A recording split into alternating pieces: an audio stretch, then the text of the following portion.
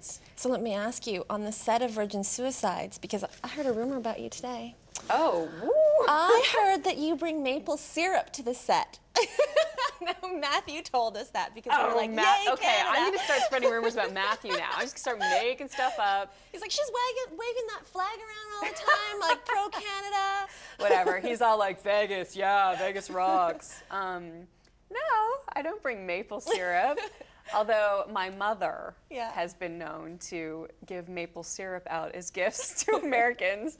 So yeah, you know I'm, a, I'm Canadian. You gotta love the maple syrup. We, no, we're proud of our. We're proud of our. Tim we're taking over. Tim Look, there's a Hortons. Canadian on every show. Yeah, it's great, right? Yeah. We're taking over. It's very exciting. I love Canada. Thanks very much. Thank AJ. you.